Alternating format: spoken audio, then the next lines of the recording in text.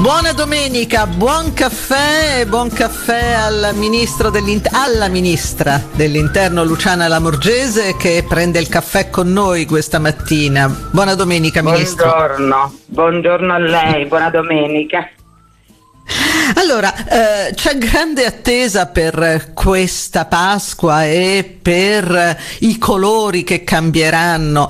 Eh, le, le, chiedo eh, quali misure sta prendendo lei e il suo ministero per da un lato far sì che eh, tutto proceda con regolarità eh, e dall'altro che però eh, appunto sia comunque una Pasqua. Lei ha detto in un'intervista i controlli saranno scrupolosi ma umani. In che senso?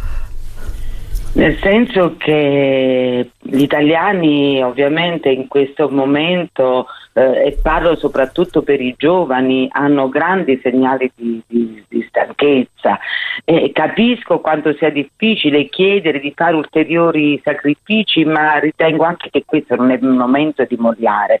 Anzi direi addirittura che serve uno scatto in più proprio nella direzione di una maggiore responsabilità individuale perché la campagna di vaccinazioni è entrata nella fase cruciale, quindi secondo me noi dobbiamo vederla in positivo, però certo dobbiamo avere un grande senso di, di responsabilità, eh, i controlli ci saranno come ho detto, eh, però eh, c'è anche da dire che si stanno comportando gli italiani in maniera assolutamente responsabile, basta dire che su 8 milioni di persone controllate, i sanzionati sono 100.000, quindi sono numeri abbastanza mh, mm, limitati. Non è questo il momento di mollare, ecco, di questo ne sono certa perché eh, stiamo per far uh, arretrare la diffusione del virus proprio grazie a questa campagna imponente di, di vaccini che credo proprio che nei, nei prossimi giorni entrerà nel vivo.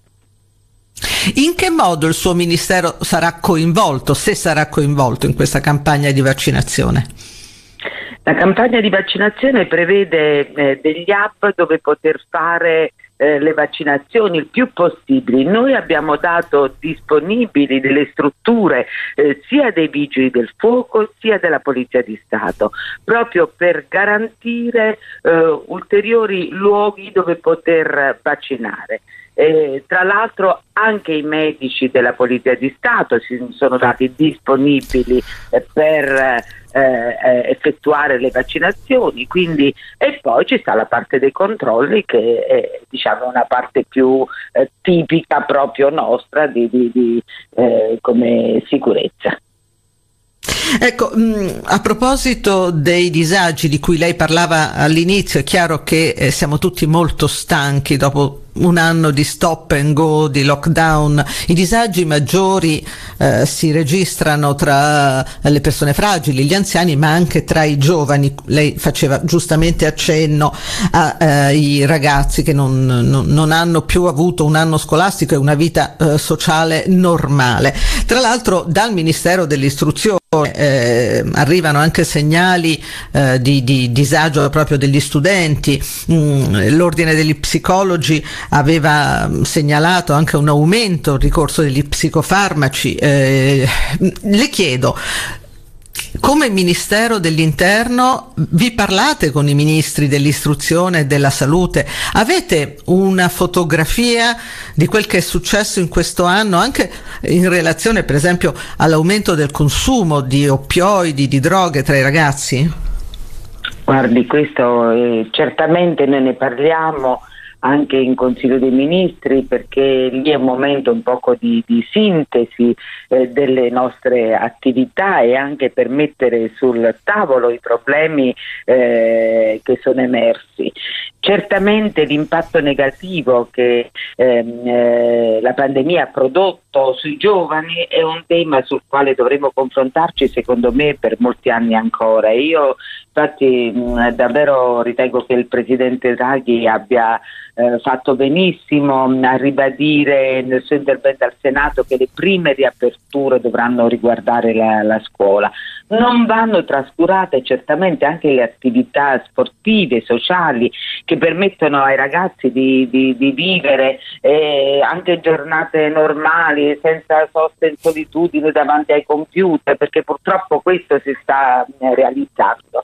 Eh, quindi molto spesso davanti, stanno davanti ai computer e dobbiamo essere onesti, durante un anno è stato un anno complicato per tutti, ma ancora più per loro che i ragazzi sono abituati a incontrarsi, a socializzare eh, e questo purtroppo non è avvenuto in quest'anno. Lo vediamo anche nei momenti di libertà che si hanno, lo vediamo anche negli assembramenti che tante volte noi notiamo per le strade. E quello è il desiderio di stare insieme, di, di recuperare il tempo perso. Quindi, C'erano stati quegli episodi, mi, Ministro? Sì, c'erano stati quegli episodi di risse organizzate no? in tutte le città, è successo più volte a Roma, è successo esatto, a Napoli, è successo al nord. Riferimento, facevo riferimento a questi, quindi questo è il desiderio di socializzare ed è un dentro i ragazzi adesso c'è una sorta di insofferenza, eh, quindi anche quegli episodi certamente alcuni sono stati strumentalizzati, ma dietro c'è questa eh, voglia di, di, eh, di, tirare fuori tutta la rabbia che hanno dentro. Ecco. E quindi secondo me è necessario un piano di ricostruzione proprio generazionale che lo Stato deve essere presente, ma certamente non, fare, non si può fare a meno dell'apporto delle famiglie. Ecco, questo è un altro punto eh, fondamentale. Certo, le famiglie eh, che ci stanno ascoltando spero che siano appunto sensibili alla richiesta che, che lei fa, Ministro. C'è un altro aspetto di questo terribile anno eh, di pandemia di cui lei si occupa eh, come Ministro dell'Interno e sono eh, gli appetiti no? che i 209 miliardi in arrivo con il Recovery Fund scatenano nelle organizzazioni criminali. Ecco, eh, so che, che lei ha promosso dei protocolli d'intesa col Ministero dell'Economia dell'economia, con la SACE, con l'Agenzia delle Entrate, in che modo funzionano per verificare no, come l'andrangheta, la camorra, le, le, organizzazioni criminali possono mettere le mani, per esempio, su uh, piccole aziende, ristoranti che non ce la fanno andare avanti. Il rischio è proprio quello in questo periodo, cioè che ci sia una um, possibilità per le mafie di inserirsi inserirsi nel circuito anche delle risorse eh, ingenti che ci sono in questo momento e che ci sono state nell'anno passato.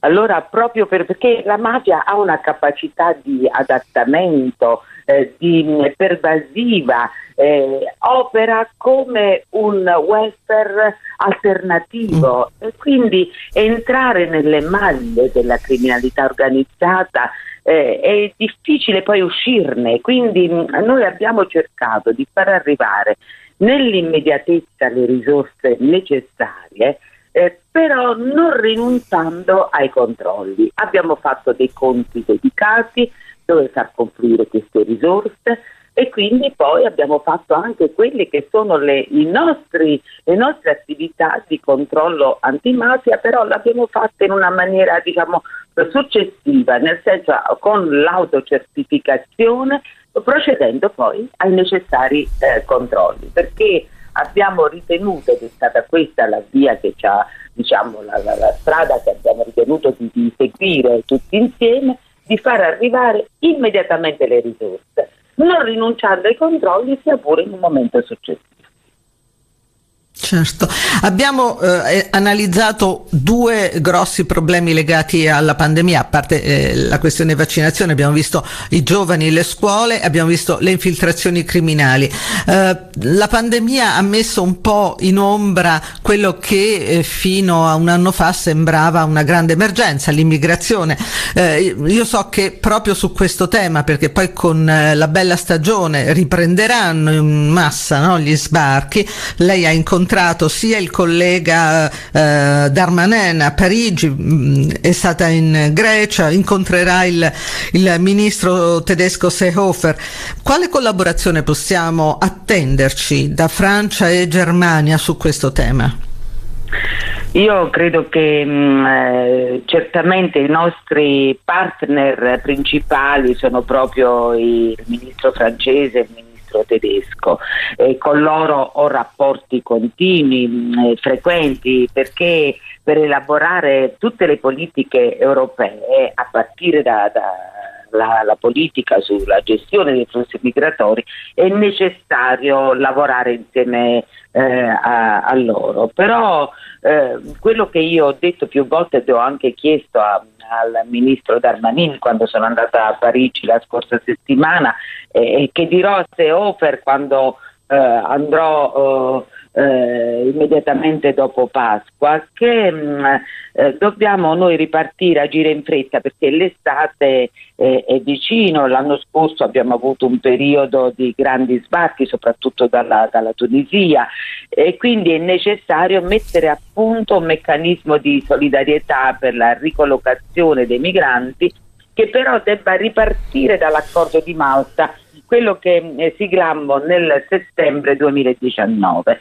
E, e, con questo voglio dire al, che dobbiamo fare riferimento proprio perché, a quella intesa, perché quell'intesa che, che se ne dica è stata molto importante perché ha fatto sì che una parte di paesi, certamente non tutti i paesi, 27 paesi europei, perché altrimenti avremmo risolto il problema, ricordiamoci che ci stanno sempre il blocco Visegrad che non ritiene certo. assolutamente di prenderne neanche uno, però molti paesi, almeno 9-10, hanno, hanno, aiutato l'Italia ehm, e hanno dato delle quote eh, di, eh, per la ricollocazione. Che cosa voleva dire? Che quando il migrante arrivava a, a, in Italia o a Malta, eh, a quel punto eh, si facevano i necessari controlli di sicurezza sanitaria, dopodiché andavano, venivano distribuiti e tutta la procedura era in carico a quei paesi. Quindi se avevano diritto all'asilo, se c'era bisogno di fare il rimpatrio, erano tutta una serie di attività che oggi facciamo noi perché dopo il periodo di pandemia, dopo il lockdown, mm. si è bloccato purtroppo questo meccanismo. E quindi adesso bisogna rinnescarlo. Poi tra l'altro il 6 aprile il Presidente del Consiglio Draghi andrà in Libia e anche lì credo che si parla, che parlerà di, di questo eh, tema. Ministro, io le ho fatto un elenco di problematiche serie. Mm? Vogliamo chiudere dando non dico un, una certezza, ma almeno una speranza a chi ci segue. Eh, il ministro eh, della salute e anche eh, altre fonti eh, sostengono che per l'estate potremo quasi tornare alla normalità. Lo crede anche lei? Guardi, dipende ovviamente dalla campagna di vaccinazioni. Io sono molto fiduciosa perché eh, vedo che eh, le dosi di vaccino stanno arrivando, c'è stata una presa di posizione netta eh, da parte del nostro Presidente del Consiglio, quindi eh, se devo vedere quelle, le, le dosi in arrivo, eh, le regioni eh, che speriamo adesso si diano tutte delle, une, delle regole uniche, io sono sempre per carattere, lo sono, ma in questo caso il fatto di vedere positivo perché vedo che sta prendendo una buona piega la campagna di vaccinazioni e che anch'io mi sono ieri proprio eh, segnalata alla regione Lazio per fare, mi sono iscritta nelle liste di prenotazione eh, perché era il mio momento e allora a quel punto quale vaccino verrà stato, utilizzato? Stato, quale vaccino verrà utilizzato per lei ministro? Lo sa già? No, non lo so perché io mi sono iscritta, adesso mi arriverà, mi dicono che immediatamente dopo dovrebbe arrivare la, eh, il tipo di vaccino e, il, e, qual è la prenotazione che, eh, dove lo dovrò fare. Eh, io ho individuato una struttura perché mi sembrava che potesse essere diciamo, una struttura eh, tra quelle eh, riportate e quindi io per me, guardi, qualunque tipo di vaccino va bene, dal, eh, dall'AstraZeneca al, eh, al Pfizer, al Moderna e così agli altri. Quindi l'importante è vaccinarsi. L'importante è vaccinarsi e questo credo che eh, sia um, dire, buona, un buon proposito per tutti quelli. Nel Lazio eh, le, le, vaccinazioni stanno funzionando, speriamo che funzionino bene anche nelle, nelle regioni che hanno più difficoltà. Eh, grazie Ministro Lamorgese per aver preso il caffè della domenica con noi e speriamo che sia questa settimana che ci porta alla Pasqua una settimana di senso di responsabilità per eh, per tutti. Grazie, buona domenica. Grazie Noi ci risentiamo lei, tra poco. Buona domenica e buona Pasqua. Buona Pasqua, grazie.